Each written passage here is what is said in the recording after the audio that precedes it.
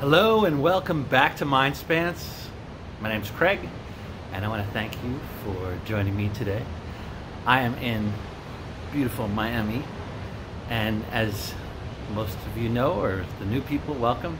I'm all about elevating your life experience through some very basic meditative practices that I've worked on for all of my long life, and uh, I'm sharing that with you in all sorts of different videos and and uh, guided meditations and other things. So, and it's really just about finding little things that you can do every day to elevate how your life goes every day. A little more smiles, a little less stress, right?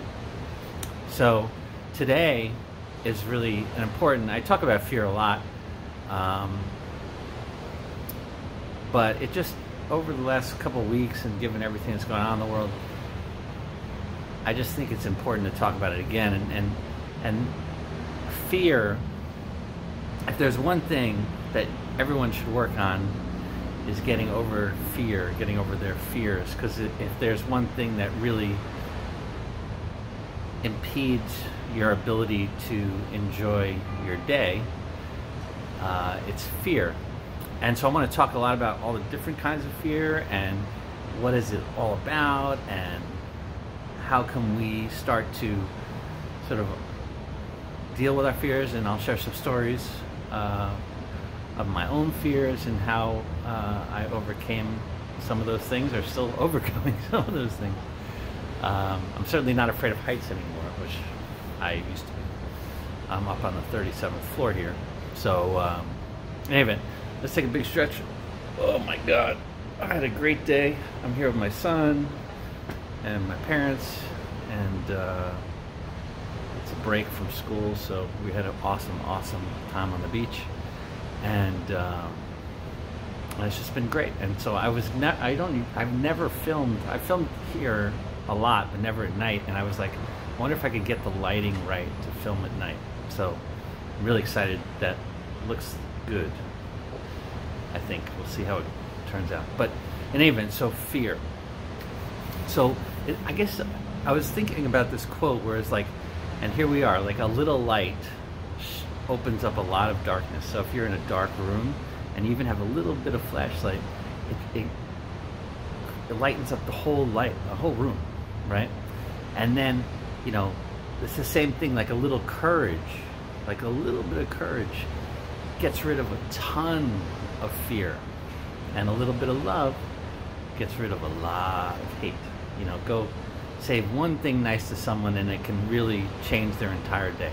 So, uh, so always do that. Be nice, and you'll be surprised at how how much you can affect someone's day. So, uh, so but today we're talking about fear, and fear comes in. I mean, there's obviously things that you should be afraid of, obviously, like real fear, like someone's to kill you or whatever, and but that normally doesn't happen to us. Uh, most of our fears are sort of imagined fears, fears of the unknown, fears of public speaking, fears which are sort of fears of death in any in many many shapes. Um,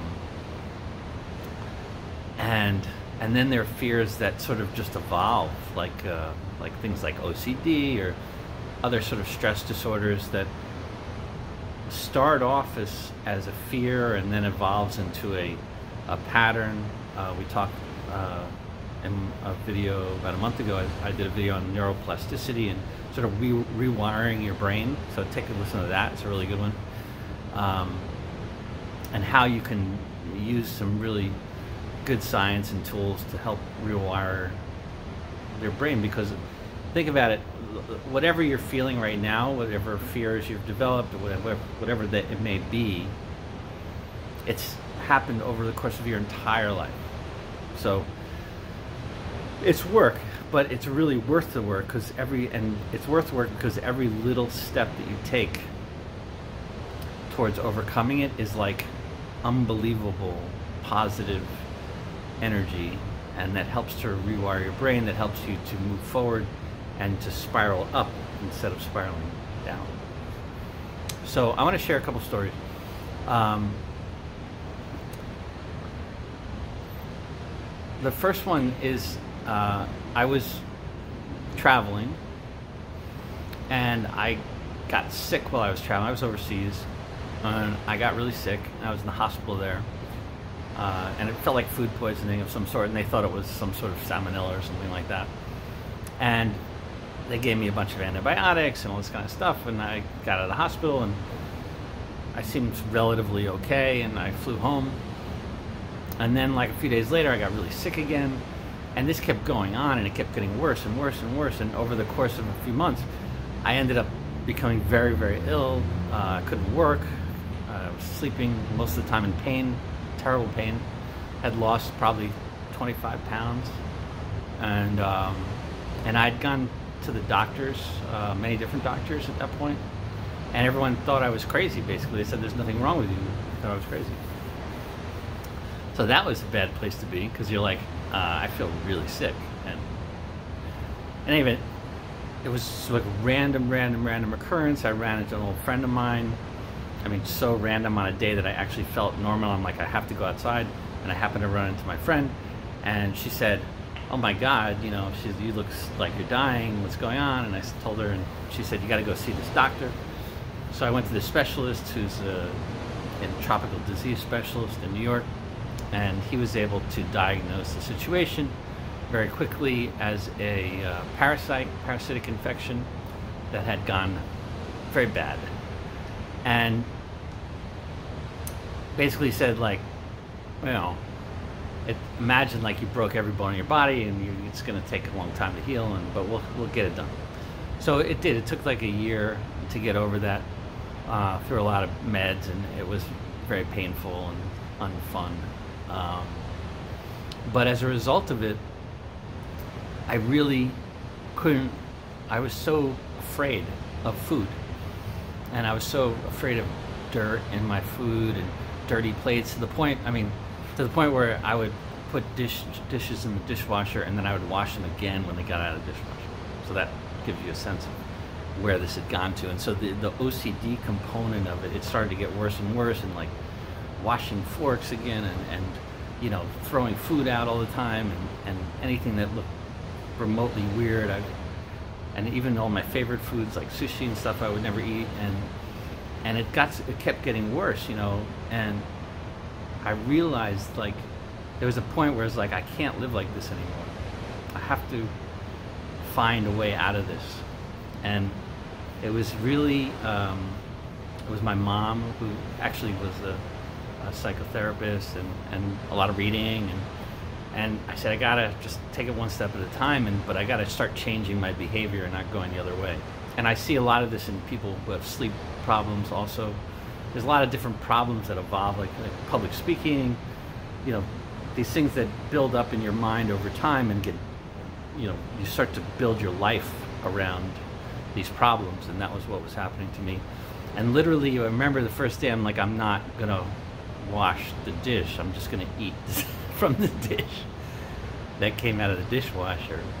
And, uh, you know, you're probably laughing, like, but you can't imagine, like, it was like a big deal and it was a huge win for me that, and I'm like, well, if I die, I just got if I die, I die, you know, I just can't live like this and I'm willing to take the risk of dying to get over this.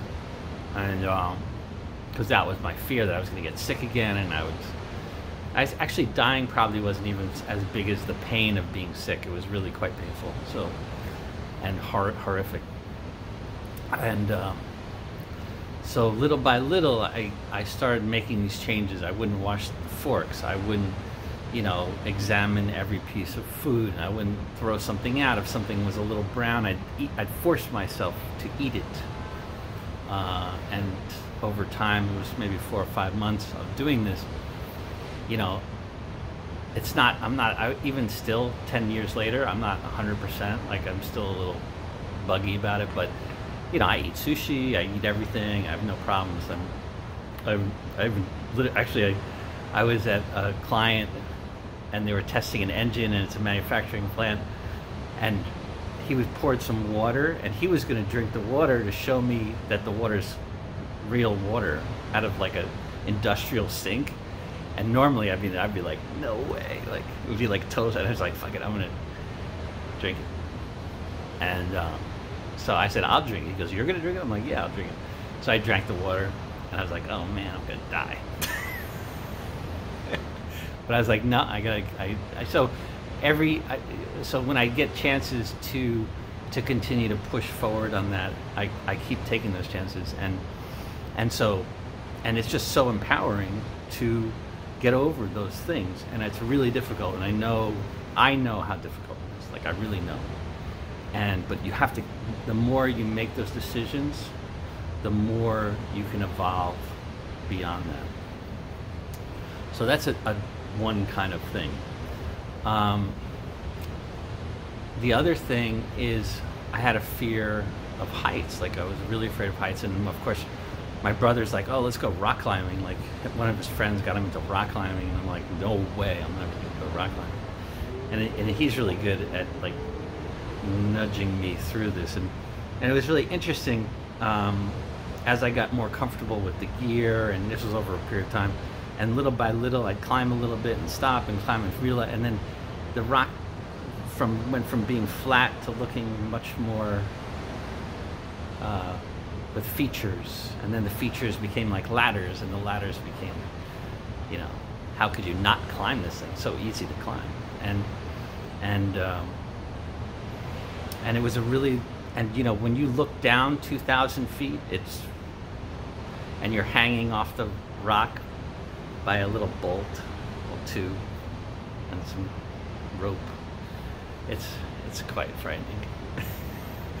but and it's not like you ever get comfortable with it completely, but you start to you start to sort of see the beauty. You quiet your mind, and and what I want to next talk about is that what is fear, right? What does it feel like?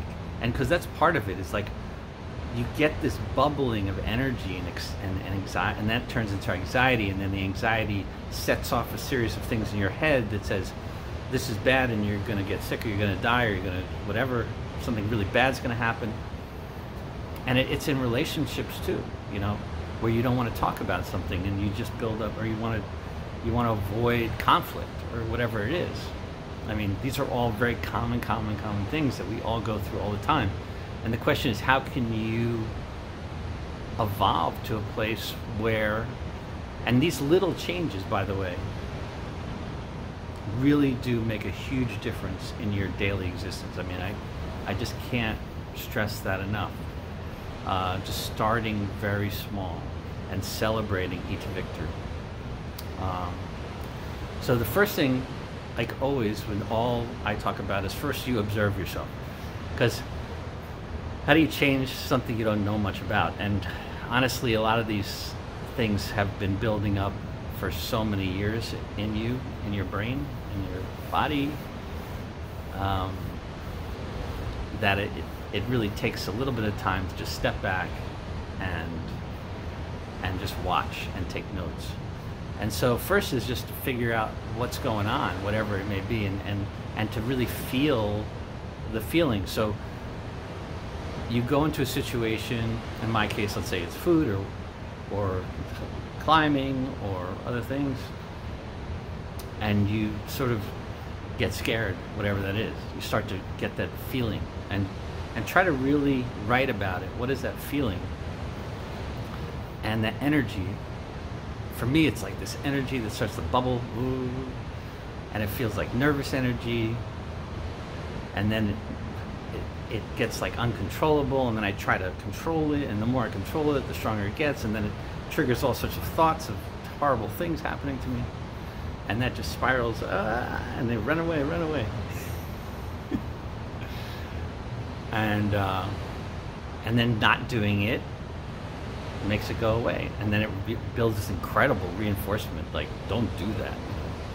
And so, trying to do a little bit that, your body is like, your brain's like, no, you cannot do that. so you really have to start slow and make little adjustments, and and one is just to recognize the feeling first. And so as and you know that feeling, right? The buzz and everything. And a feeling starts to come. The first thing I want you to do is just breathe, really breathe really deeply and realize that that's just energy. There's, those are chemicals that are being pumped into your body to deal with fear, physical, like fight or flight kind of stuff. And so you're basically like your body's ready to fight for survival, right? So there's nothing to do with all this energy because there's no tiger chasing. And what you can do is just feel it, you know? Don't fight it off because you're just say you're not going to do it, all right? So we're not going to do it, but the energy is already released, so you're going to feel it for a while. It's like it's in your system, and it takes a little while to get out of your system. So first breathe, because breathing will tell your body that you're safe. Deep breath. Hold it for a while. Blow out everything. Do that again. Do that a few times.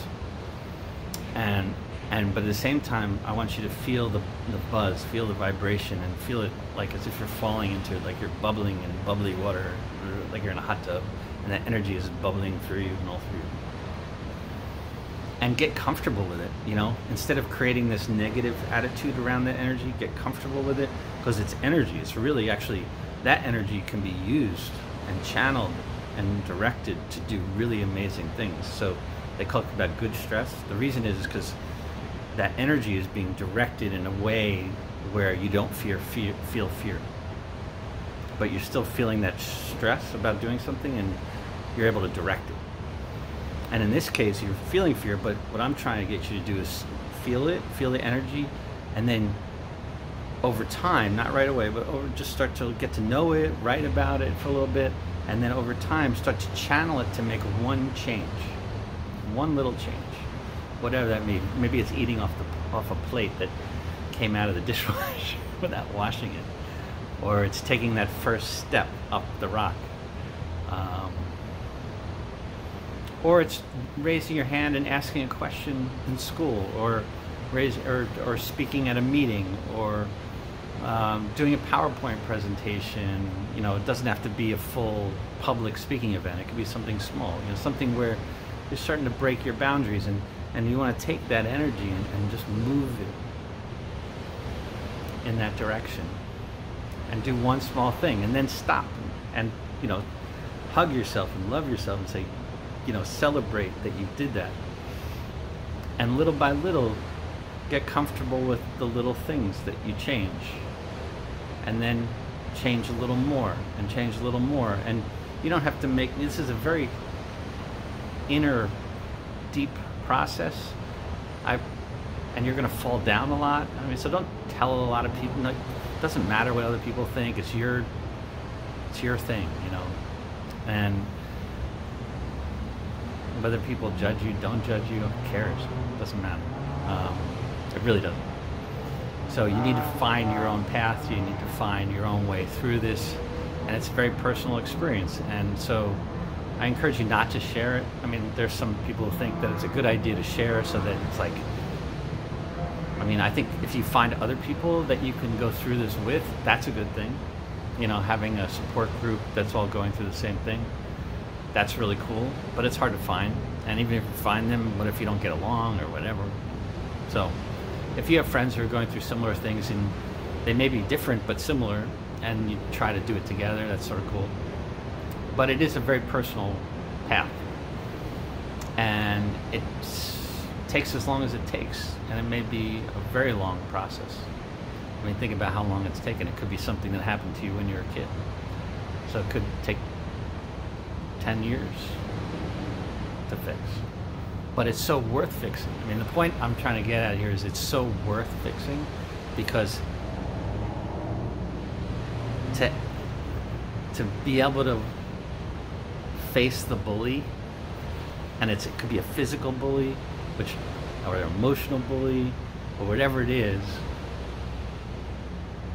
Um, I I uh, studied karate from very early, uh, probably four years old, sorry, five years old, you know, and uh, and studied for quite a while, almost eleven years, twelve years, something, and. Um, and I remember in my first tournament, the tournaments were supposed to be no contact. It was just like a stylistic tournament for points.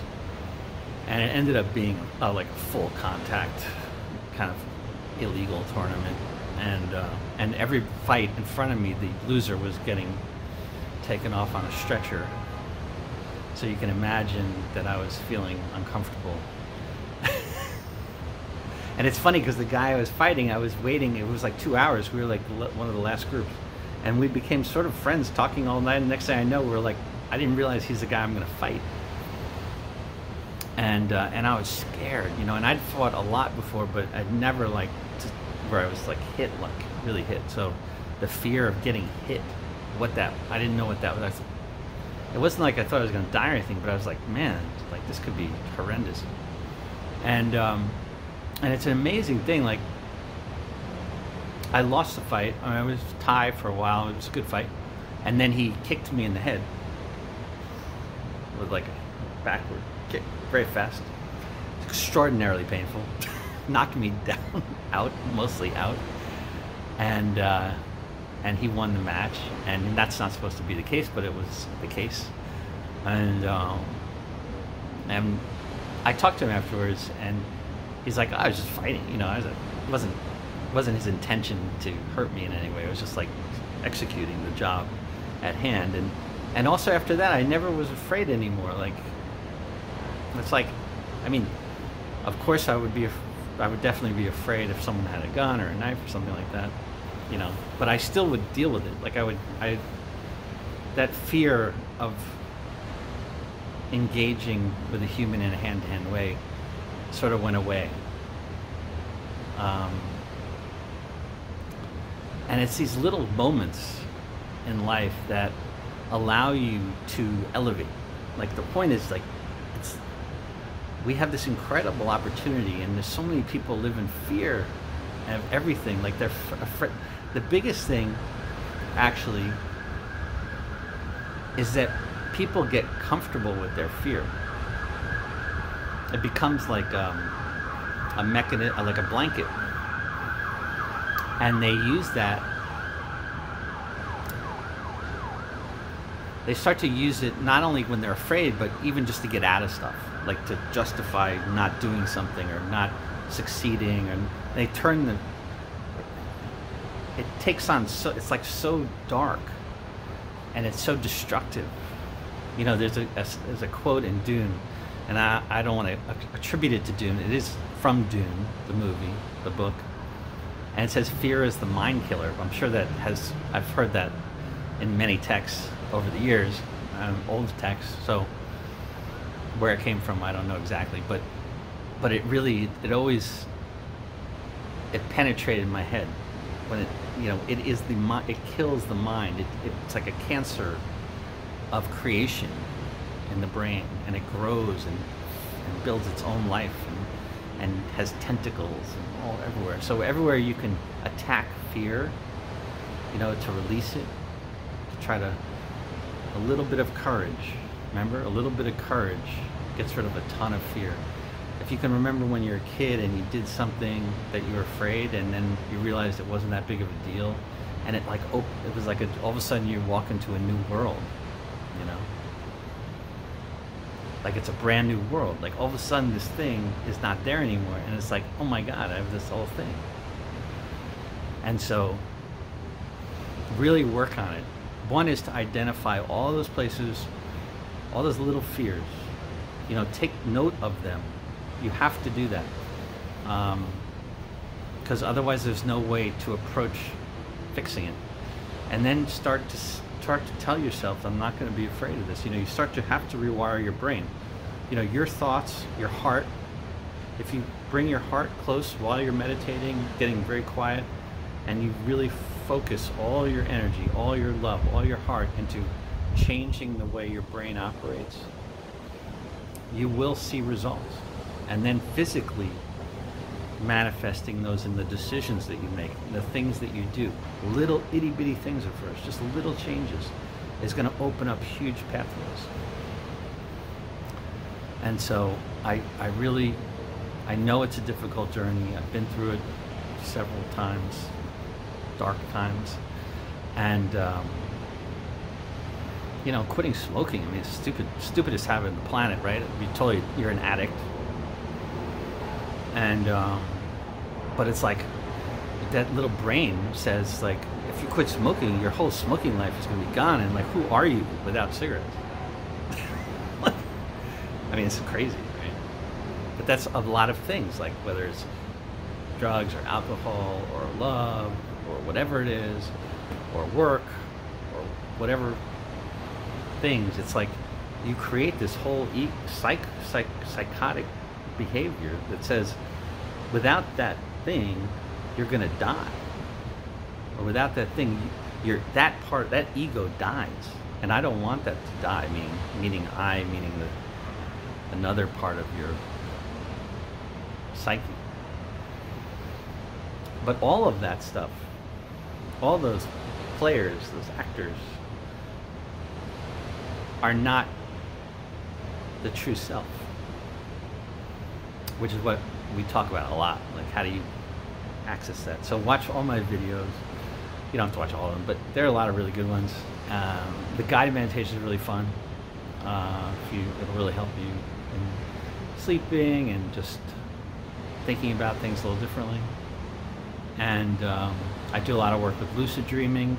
Those are really powerful. A lot of data now uh, talking about how lucid dreaming can really help you face and overcome fears, uh, and it's a very powerful tool uh, to do that. So first, you need to learn. Everyone can learn how to lucid dream. Lucid dreaming is when you're awake in your dreams, um, and then you can sort of. Uh, you can't really dictate everything that happens, but you can guide it, and you can ask questions, and you can get answers, and and you can conjure fears and face those fears, or they just come up and say, "Hi, I'm here," and uh, and you learn how to deal with that. Uh, so I do teach that too, and I there are a lot of people you've filed books on it and a lot of data now. There's been a ton of work being done at uh, Stanford and, and uh, other very reputable universities saying that this stuff really works, and particularly they've been experimenting with PTSD with soldiers, um, and that they've found that you know being able to relive those experiences in a lucid dream environment and face some of those fears have been miraculous in, in the in the help. Uh, nothing's cured, I guess, but certainly in their elevating what would be their daily life experience, and, and in some cases it's been you know made it go away. So so those that's an area I do. I have a bunch of videos on that, and there's tons of stuff I, I really encourage you to read on that because that's also a great way. It's a great path to help uh, address your fears. It's so important. So take the time. Um, you put a lot of energy and time into building your fears up and building your anxieties up, and you know a lot like you probably think about it 70% of the day. So if you just reduce that a little bit and take that time and spend it towards fixing it and shift the balance that and I think the other side is faster because you get so excited when you make these milestones and you just want to you just want to jump up and down and dance and smile so and that is what I want everyone to do is to smile more, have less fear, less stress, love more, and uh, and have a great night. Uh, I gotta head back to New York tomorrow. It's cold there, apparently, and um, and definitely subscribe to the channel, like the video, share it with your friends, all that stuff, and uh, I'll talk to you real soon. Thank you so much.